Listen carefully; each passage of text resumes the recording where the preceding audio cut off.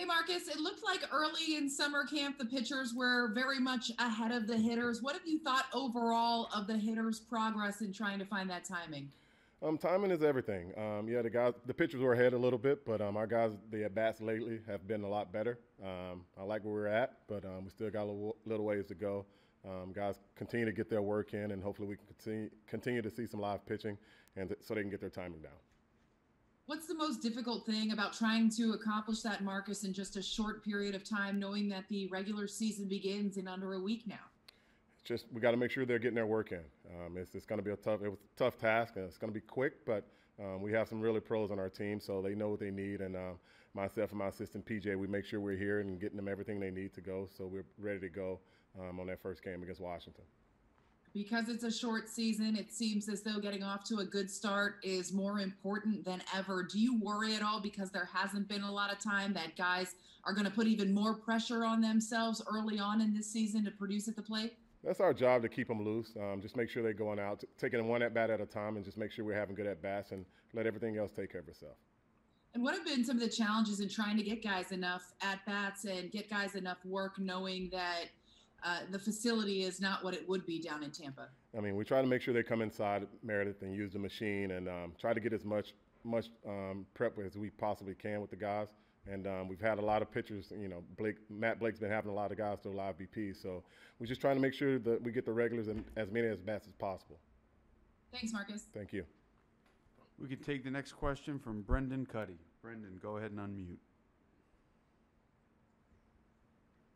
Marcus, thanks for taking the time. How quickly do you think DJ LeMahieu could get up to speed, and why do you feel that way? Um, you know, we're going to take our time with him and make sure he's healthy. Number one, you don't want to rush him, but um, um, DJ worked worked really hard. You know, even when the shutdown was down in Tampa, he was there um, getting work in. But um, we're going to take it slow with him, and um, he'll he'll let us know when he's ready. But we're not going to push him. We've got to make sure he get get enough at bats here with some live BPs, and just make sure he's ready is there something about his skill set that may, you know, make him progress faster than a, a typical player would? He's among your, your, your best hitters. He's just he's just a he's a baseball rat man. He knows the game. He knows his swing. Um, he knows what guys are trying to do to him. So that part will help him out. But still, he's still human. So he's still got to get some at bats and, and he's got to get some reps to make sure he's up to game speed. Thank you. Take the next question from Kristie Ackert. Kristie, go ahead. Hey, Marcus. I was just curious, what is it like having your hitters um, hit against the pitchers here, and, and what's the difference you hope they'll get out of facing other teams' pitchers over the weekend? You know, against our guys, they still want to get their bats, but when you're facing somebody else, you have that little edge to you. So um, guys are ready to see other guys now. Um, it's nice to face our guys, but um, getting ready to face the Mets, I think that's going to help guys too, and they can get that edge back to, to go out and try to make sure they're ready to go against an opponent. Did you use any of the feedback from your pitchers? Did you hear any feedback about your hitters from them? We, I got a, I got a couple of things back from some guys, but um, but uh, that's just that's a good thing. Um, um, Gerrit likes to talk hitting because he's he's such he's so cerebral. So um, he'll come and ask me a question or two. But um, it was good feedback. But um, I like hearing stuff from our pitchers, just seeing what they're saying from my hitters. So it's a good thing. Thank you. Mm-hmm. Take another question from Sweeny Murti. Sweeny, go ahead. Hey, Marcus, with uh, time at the ballpark being a premium this year, what are some of the things you're working on to get guys who maybe are used to certain routines that have them coming in, you know, so early in the day to kind of get them up to speed and ready for game time?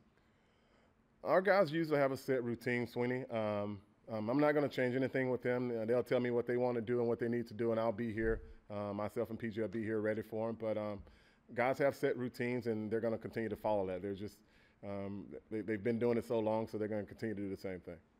They're not going to be allowed to be at the ballpark quite as long. So there are there things they're going to have to do to prepare before they get there? Well, our guys, they, they don't usually, the hitters, they get here at a certain time. Most guys get here around 2.30, 3 o'clock. So they have their set routines. We stretch at 3.30, 3.45, 4 o'clock. So they'll, they'll make sure, it, we'll make sure it works for them.